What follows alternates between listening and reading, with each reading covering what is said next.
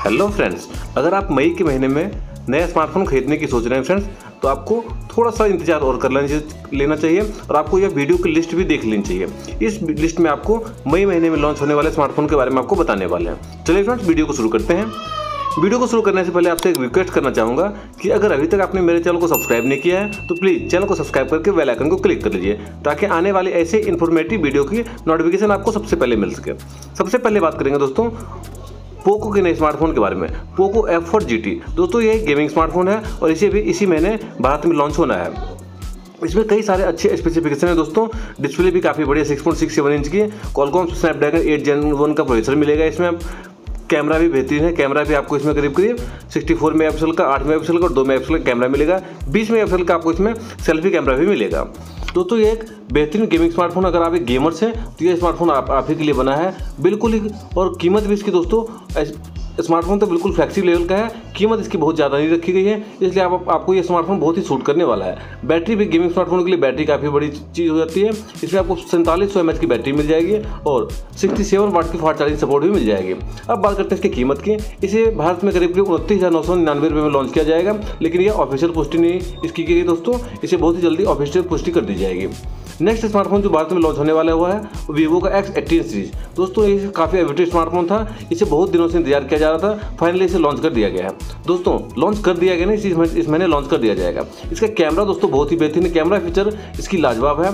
इसके कैमरे से किसी को कोई शिकायत नहीं मिलने वाली। बहुत ही लाजवाब कैमरा फीचर है और इसके साथ साथ इस स्मार्टफ़ोन के बाकी जो फीचर्स हैं, बहुत ही बेहतरीन है फ्रेंड्स आपको ये बिल्कुल ही फ्लैक्सिब लेवल का आपको एक्सपीरियंस मिलने वाला है। इसमें आपको MediaTek Dimensity nine thousand का M T six six nine eight three का प्रोसेसर मिलेगा, जो कि बहुत ही बेहतरीन है। इसकी कीमत की बात करें, इसे पैंतालीस से पचास हज़ार रुपये के बीच में इसे लॉन्च किया जाएगा।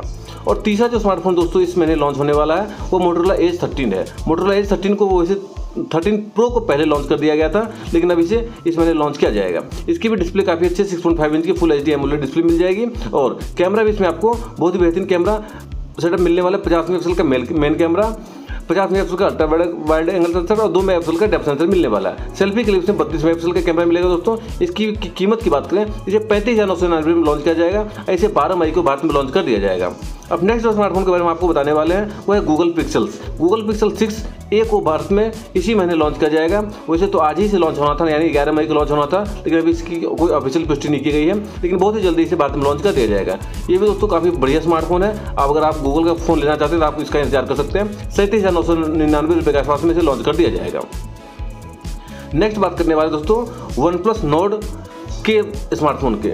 Notebook OnePlus Nord two T को भारत में इसी महीने लॉन्च किया जाएगा। दोस्तों, ये काफ़ी कम कीमत वाला एक स्मार्टफ़ोन भारत में लॉन्च होने वाला है। ये आठ जीबी रैम और बारह जीबी रैम में से लॉन्च किया जाएगा। और बहुत ही बेहतरीन फीचर है दोस्तों। वन प्लस का के अगर आप लवर हैं तो आप इसको ज़रूर लेना चाहेंगे। और इसे बहुत ही जल्दी भारत में लॉन्च किया जाएगा। डिस्प्ले भी काफ़ी अच्छी है।